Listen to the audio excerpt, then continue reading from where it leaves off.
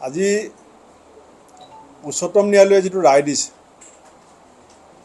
ঊনৈছশ এসত্তৰ চনৰ পঁচিছ মাৰ্চক ভিত্তিবৰ্ষ হিচাপে লৈ ঊনৈছশ পঁচাশী চনৰ পোন্ধৰ আগষ্টত ৰাজীৱ গান্ধী ডাঙৰীয়া আৰু সদৌ অসম ছাত্ৰ সন্থাৰ মাজত যি চুক্তি হৈছিলে আমি সেইদিনাখনৰ পৰাই অসম চুক্তিক সদায় সন্মান জনাই আহিছোঁ। আমি অসম প্ৰদেশ কংগ্ৰেছ কমিটিয়ে আমাৰ নেতা ৰাজীৱ গান্ধী ডাঙৰীয়াই স্বাক্ষৰ কৰা সূত্ৰে আমি চুক্তিৰ স্বাক্ষৰকাৰী দল হিচাপে নিজক বিবেচনা কৰোঁ। আৰু আমি কেৱল কংগ্ৰেছ দলে যে অসম চুক্তিক সমৰ্থন জনাইছিলোঁ এনেকুৱা নহয়। সেই সময়ত বিজেপিৰ নেতৃত্বকে প্ৰমুখ্য কৰি বাজপেয়ী ডাঙৰীয়াক প্ৰমুখ্য কৰি সকলো ৰাজনৈতিক দল অসমৰ সৰু ডাঙৰ সকলো দলে অসম চুক্তিক এক ঐতিহাসিক দলিল বুলি পেলাই বিশেষিত কৰিছিলে।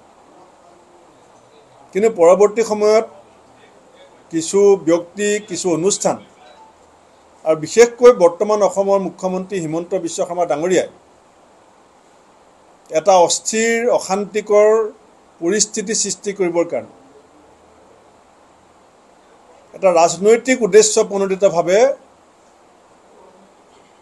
এই চুক্তিখনক বিভিন্ন ধৰণে তেওঁ অৱমাননা কৰিবলৈ চেষ্টা কৰিছিলে যাৰ জ্বলন্ত উদাহৰণ হৈছে কা। আৰু আজি ছুপ্ৰিম কোৰ্টৰ যিটো ৰায়দান মই ভাবোঁ যে অসম শক্তিৰ প্ৰতি আমাৰ যিটো শ্ৰদ্ধা আছিলে আমাৰ যিটো দায়বদ্ধতা আছিলে আমি যিটো দায়বদ্ধতাত পূৰ্বৰ পৰা বৰ্তি আছোঁ আজি সেইখিনি কথাকে ছুপ্ৰিম কোৰ্টে পুনৰ দোহাৰিছে।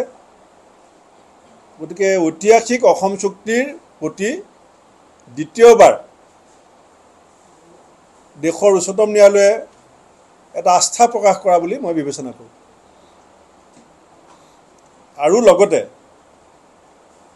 বিভিন্নজনে যিটো অসমীয়া জাতীয় সত্তা খিলঞ্জীয়া সংজ্ঞা নিৰূপণৰ কথা কৈ আছে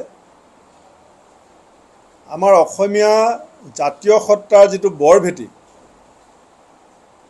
সেইটো চাউলুং চুকাফা দেউ ডাঙৰীয়াই আৰম্ভ কৰিছিলে।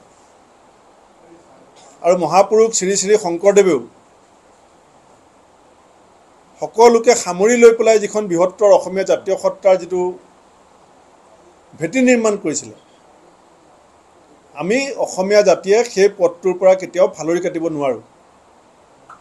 আমি বৃহত্তৰ অসমীয়া জাতীয় সত্তাৰ যিটো চেতনা আমি চুকাফা আৰু শংকৰদেৱৰ পৰা পাইছিলোঁ সেই চেতনাৰে আমাৰ দল সদায় উদ্বুদ্ধ হৈ আহি থকা সময়ত আমি বৃহত্তৰ জাতীয় সত্তাৰ সম্প্ৰীতি ভাতৃত্ববোধ আৰু প্ৰগতিৰ কাৰণে আমি কাম কৰিম।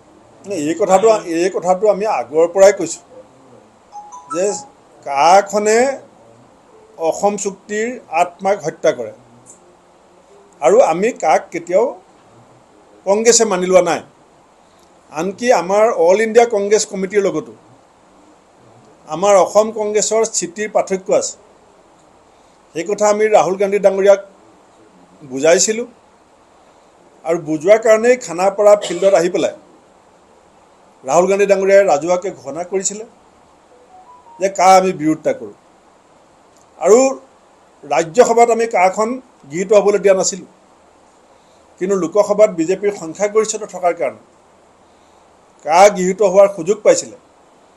গতিকে আমাৰ নেতা ৰাহুল গান্ধী ডাঙৰীয়াৰ যিটো commitment to the people of Assam অসমৰ ৰাইজক আমাৰ নেতাৰ যিটো কথা দিয়া আছে কাৰ বিৰোধী স্থিতিত আমি আছোঁ বুলি আমি আজিও আছোঁ।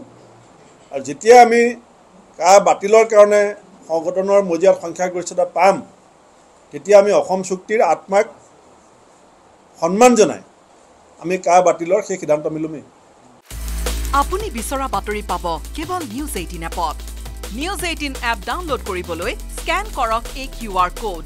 Google play ষ্টৰতো পাব এই নিউজ এইটিন এপ